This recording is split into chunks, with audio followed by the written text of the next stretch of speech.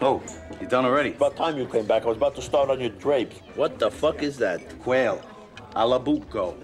Baby quail stuffed with fennel sausage. Can I get aid from eating this? Hey, Artie, uh, didn't I see this guy in the park this morning taking a shit on a statue? Jesus Christ. I'm trying something new. Hey, broaden your horizons. Forget this fancy shit. You know what you need here? Top-notch mozzarella maker, like that kid from the other side. Best fucking cheese we ever had. The best.